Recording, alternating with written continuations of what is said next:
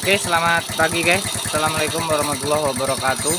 Ini, ini ada Miosul Karbo ya. Ini udah upgradean semua kalau karbonya. Ini karbo udah dipasang Supra guys. Untuk keluhannya teman-teman bisa denger ya Ini suaranya. Miosul atau Mio Sporty itu part-partnya sama aja cuma beda di body ya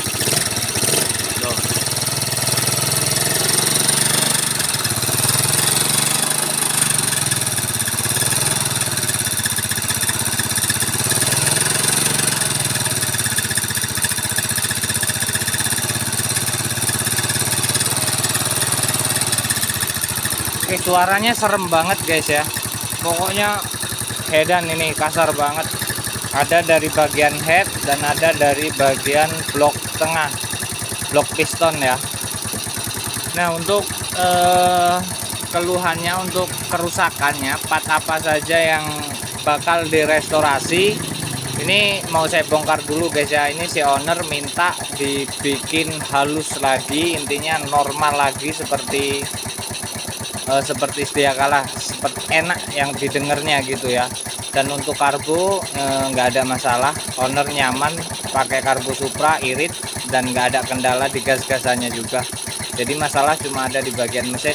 Ini mau saya otopsi dulu uh, mohon maaf untuk pembongkarannya harus saya cepet-cepet guys karena masih banyak pekerjaan juga yang harus saya sambi-sambi. Jadi nanti kalau udah kita bongkar nanti kita cek satu-satu part apa saja yang bakal di perbaiki ya uh, di bagian head dan blok ini. Kita cek juga kondisi setang dan pompa olinya nanti ya. Eh. oke guys ini udah dibongkar ini ya sama Mas Hendri nah ini ada satu keluhan lagi guys. Ternyata pompa olinya itu uh, macet. Kita coba lihat kondisi blok dan headnya ini. Ini bener-bener kering di bagian head guys makanya suaranya bisa mengerikan ya. Uh, pompa linya itu macetnya aliran yang ke head tuh. Sampai kering ya. Cuma untuk di bagian piston ini masih kelihatan basah nih. Tuh masih kelihatan basah. Cuma nggak sempurna tetap. Jadi inti masalah di pompa oli juga udah pasti bermasalah. Makanya si motor ini bener-bener kasar. Kita bongkar di bagian headnya dulu ya. Kita cek satu persatu ini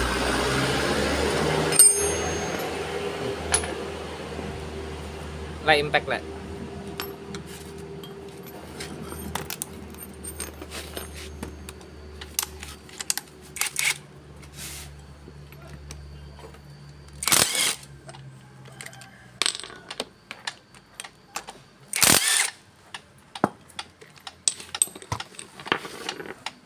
ini lihat tutup-tutup klepnya kering guys. Cuma di bagian bawah ini uh, aliran dari rantai keteng ya tuh kering garing sering gila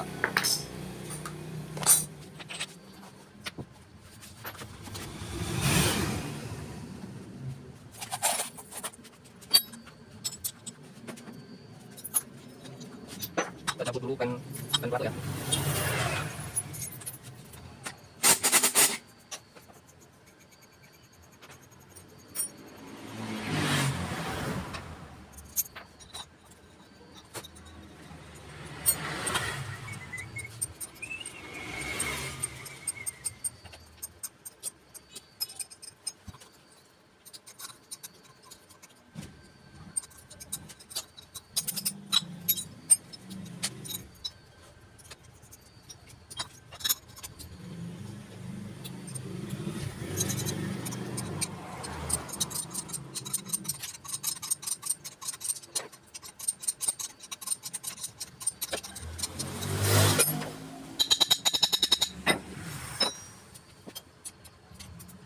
untuk pelutupnya tuh teman-teman bisa lihat.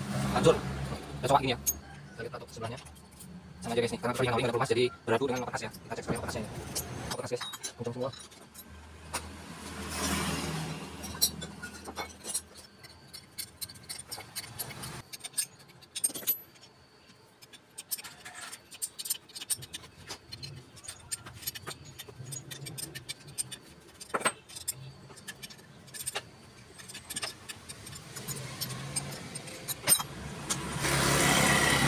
Oke oke luar biasa banget guys. Kondisi noken as. Tuh teman-teman bisa lihat ya kemakannya berapa mili ini. Gila guys. Intinya ini uh, untuk bagian head ini isi dari bagian head paling yang masih bisa dipakai cuma klep guys. Eh, untuk seal-sealnya harus diganti ya. Dan ini yang kedua noken as. Hancur noken asnya terus yang ketiga pelatuk. Tuh. Nih parah semua guys. Jadi suaranya makanya kayak uh, kayak dompeng ya. Nah untuk uh, 1 2 3 keempatnya itu ada piston dan bloknya guys nih. Piston udah baret parah ya karena perjalur pelumasannya enggak enggak sempurna jadinya baret ya. Di bagian bloknya juga ikut baret piston dan blok ikut diganti dan untuk part lainnya paling cuma sedikit packing packing ya. Perpak perpak dan ini jalur oli lagi dibuka guys. Di mau dicek sekalian. Soalnya penyakit utamanya ada di sini nih. Mio itu paling sering eh, penyakitnya di pompa oli guys. Kadang di Mio Uji, Mio Sporty atau Mio Soul. Itu pompa oli paling sering macet ngiri oke ini dibuka dulu nanti kita cek eh, pompa olinya ya Oke guys, ini lagi proses bersih-bersih dan sekalian perakitan ya. Nah, ini part-part yang udah nggak layak pakai. Jadi wajib banget diganti kalau motornya mau sempurna. Dan untuk blok ini si owner minta diganti guys, minta diganti baru bloknya. Padahal ini masih operasi sekitar 50-an ya. Nah, cuma si owner pengen yang lebih jos, jadi akhirnya diganti satu set untuk blok dan ini e, noken as. Noken as ini lahar e, lahar dua-duanya plus noken ini diganti. Terus ini pelatuk ya. Pelatuk diganti untuk klep ini masih bagus masih layak pakai. Pergantian seal aja tadi. Nah ini lagi perakitan bloknya. Tuh blok yang barunya lagi dipasang sama Mas Henry.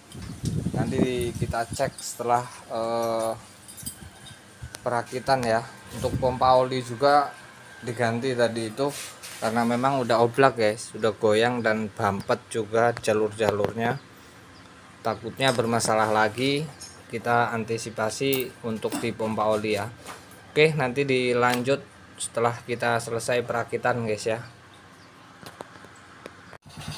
Oke okay guys, alhamdulillah si Miosolnya udah kelar perakitan ya, pergantian part-part yang udah bermasalah yang nggak layak pakai, rusak akibat pompa oli yang macet ya. Dan mungkin juga memang karena udah batas usianya spare part itu waktunya ganti. Dan ini sesuai permintaan owner, motor ini dibikin halus sempurna lagi guys.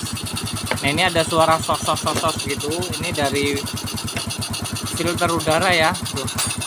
Ini pakai karbo supra jadi filter udaranya nggak bisa dipasang. Coba saya tutup biar jelas suaranya. Suaranya ya. Tuh. Ini benar-benar sempurna guys. Halus banget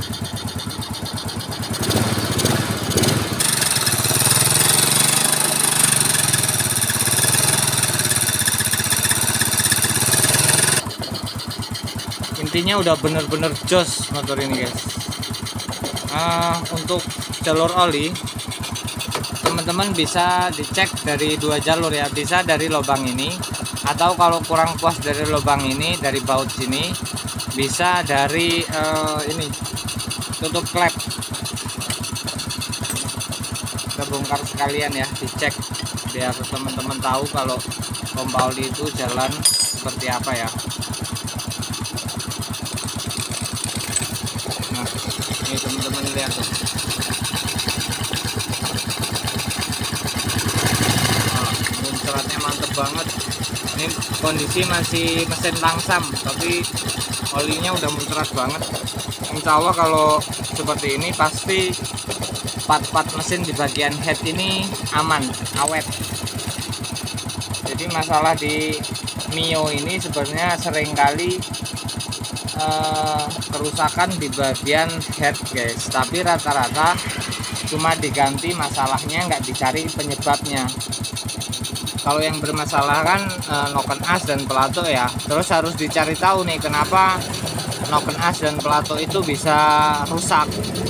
Nah, jadi harus dicari tahu. Akibatnya kan pompa oli yang macet ya. Mas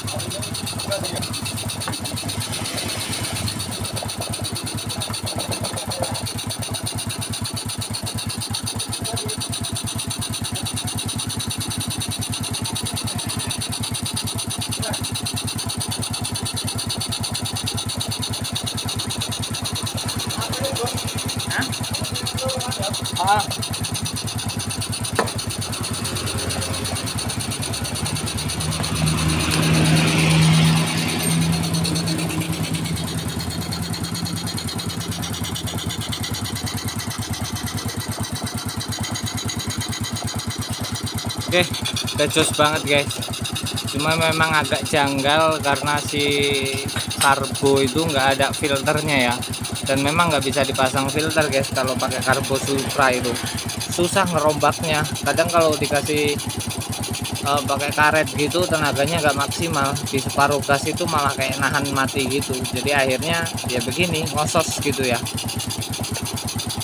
Ini part-partnya uh, tinggal pengecekan di owner nanti bahwa ini yang bermasalah saya kasih tahu dan nanti saya kasih tahu juga videonya ini.